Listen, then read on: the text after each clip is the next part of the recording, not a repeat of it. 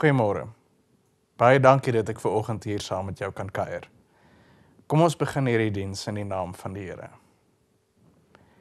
Here ons Here, hoe wonderbaar is U naam oor die hele aarde. Die ganse aarde is vol van U magtige teenwoordigheid.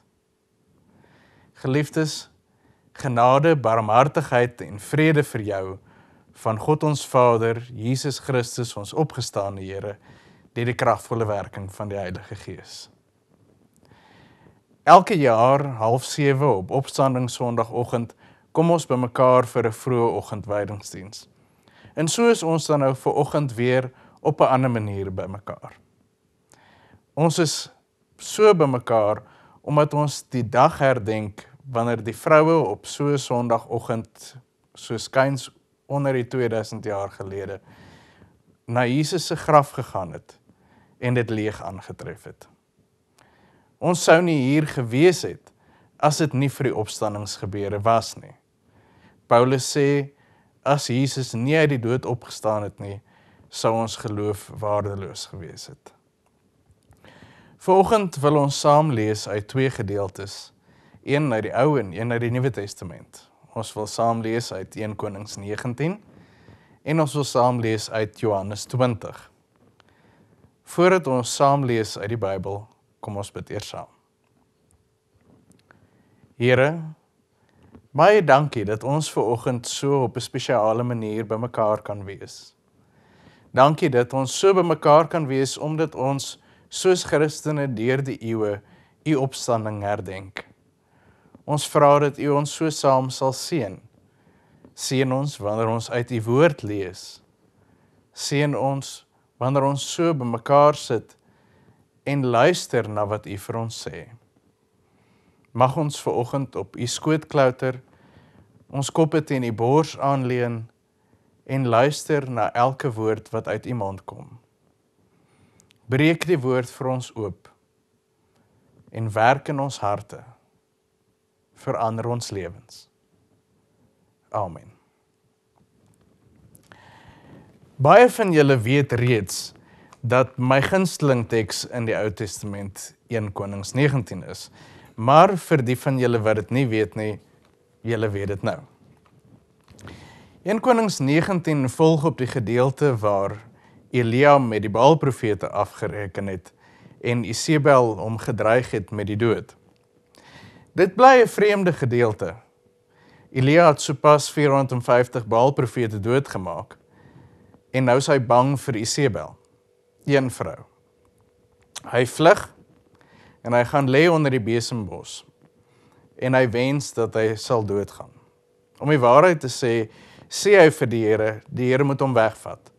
Hy sien nie meer kans om aan te gaan nie.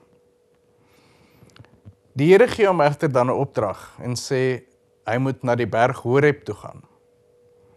Wanneer Elia daar aankom, gaan skuil hy in 'n grot en die Here sê vir hom skuil in die grot, gaan staan op die berg. Ek wil verbygaan. Ons lees uit 1 Konings 19. En ons lees van vers 11 af. Die Here sê vir Elia: Kom uit en gaan staan op die berg voor my, die Here. Ek wil verbygaan. Skielik was daar 'n baie sterk wind wat die berg stikkend geruk en die rotse gebreek het voor die Here. Maar in die wind was die Here nie. Na die wind was daar 'n aardbewing. Maar in die aardbewing was die Here nie. Na die aardbewing was daar 'n vuur. Maar in die vuur was die Here nie. En na die vuur was daar 'n fluistering in die windstilte. Toe Elia dit hoor, het hy sy gesig met sy mantel toegemaak en by die bek van die grot gaan staan. Toe hoor hy 'n stem wat vir hom sê: "Wat maak jy hier, Elia?" Ons lees net tot sover. En dan gaan ons lees uit Johannes 20.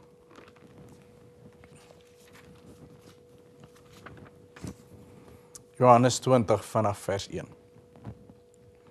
Die Sondagmôre vroeg, toe dit nog donker was, kom Maria Magdalena by die graf en sien dat die klip van die graf af weggerol is.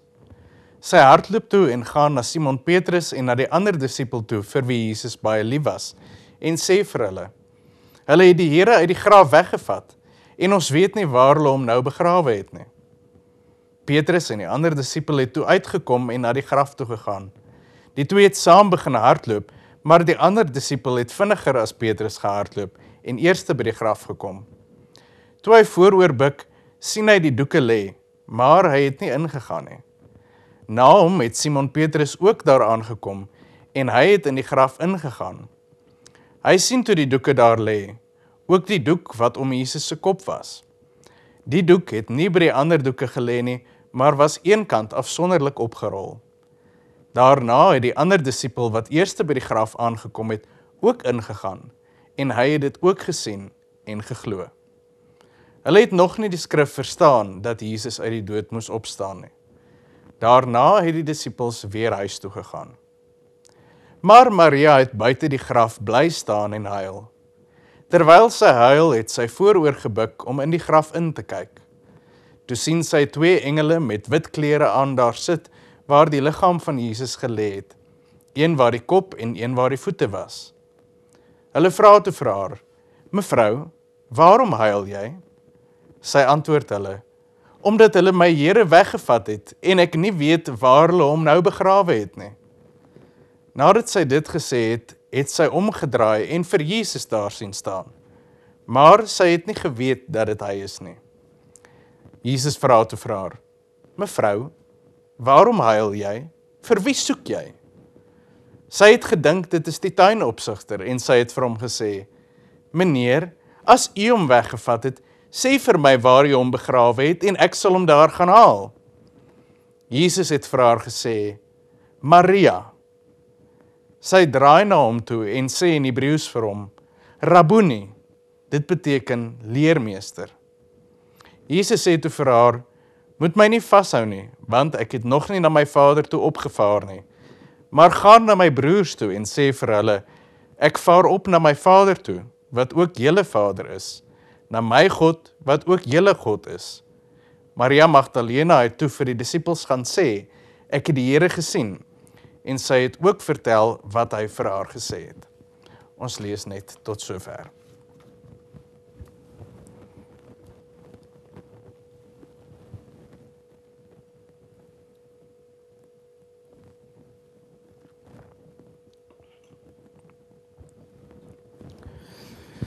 Julle mag dalk wonder hoekom ek ver oggend gekies het om uit 1 Konings 19 te lees. 'n Vreemde teks vir opstanding Sondag.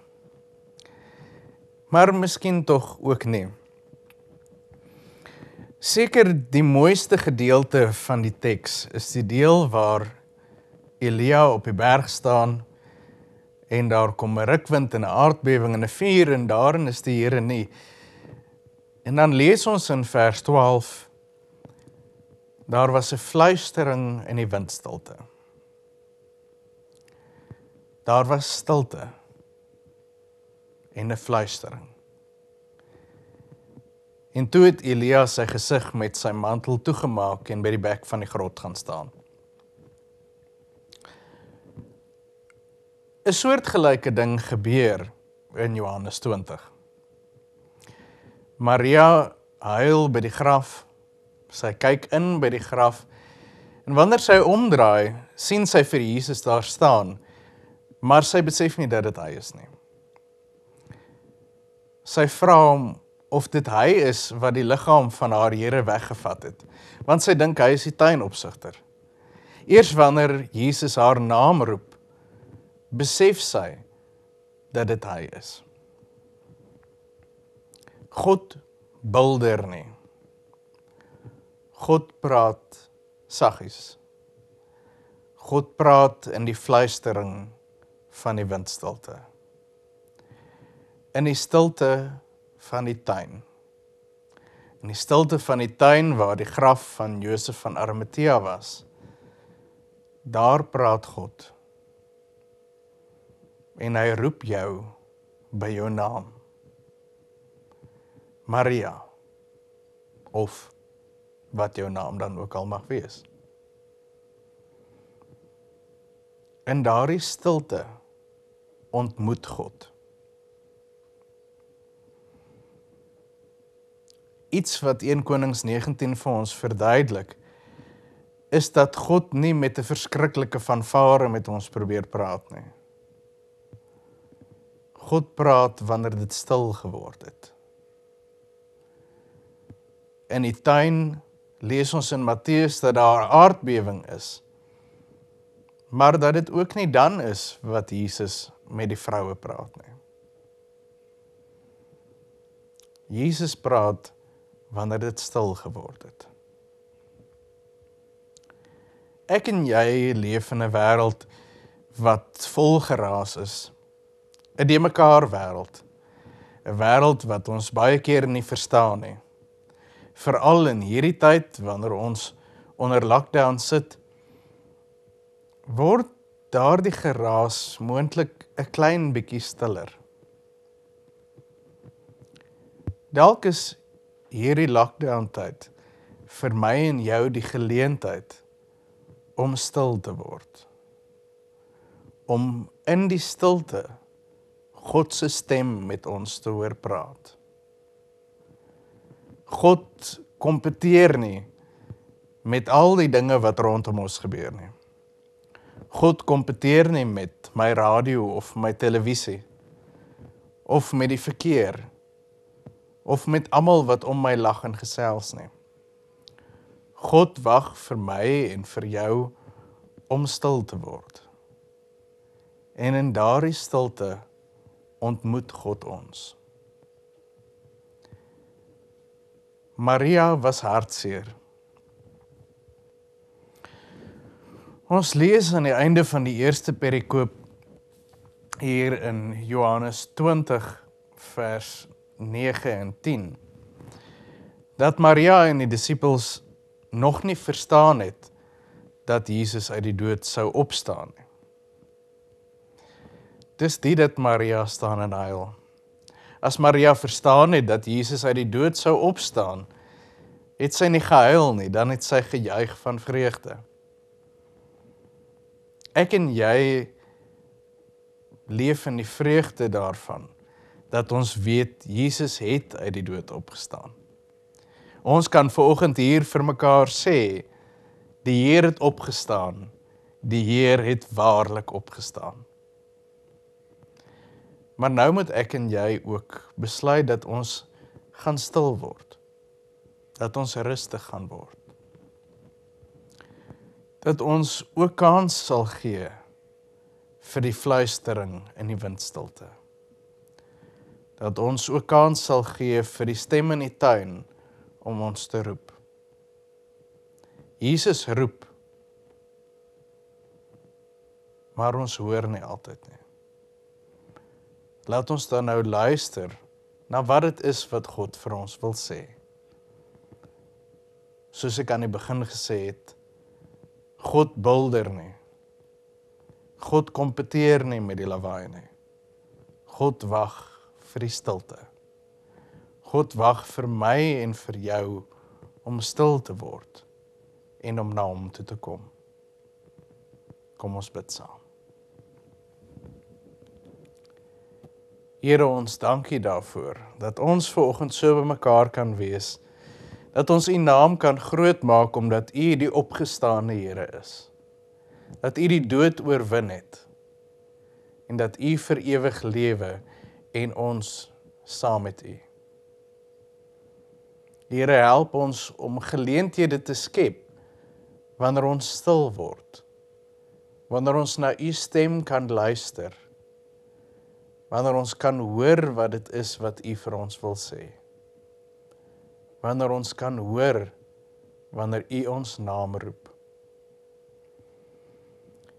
Here dalk is hierdie lockdown tyd vir ons 'n spesiale geleentheid om stil te word. Baie van ons kan nou nêrens heen gaan nie. Baie van ons het nou die geleentheid om tyd te neem om stil te word en na u stem te luister.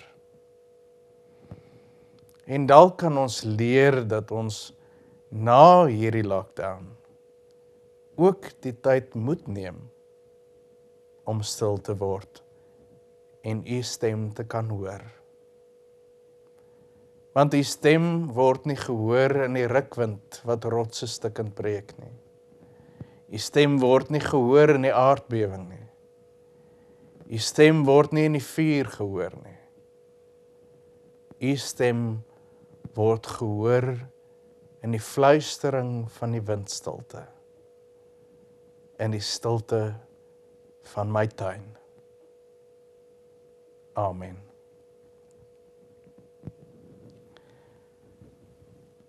Mag die Here julle seën. Mag hy julle bewaar. Mag die opgestane Here vir jou die lewe skenk. Die ewige lewe. En mag jy dit gaan leef.